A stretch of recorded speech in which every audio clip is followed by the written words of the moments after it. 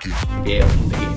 In any case, the, the main point is this, it's a very tight game. I like that. And then the four different factions play really very, very, very differently. And it's very fun to try to, you know, I don't want to play the pilgrims now. I'm going to play the humans, and I'm really going to try to exploit that. Uh, for instance, you have the base skills that you um, each player uh, has for their different races.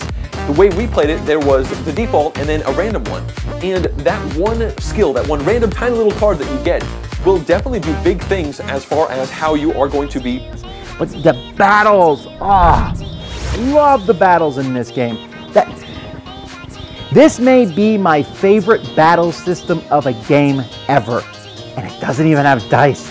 Get this game, one of the best of the year. Guarantee it's going to show up on my top 10 and many others. It's amazing. Get it now.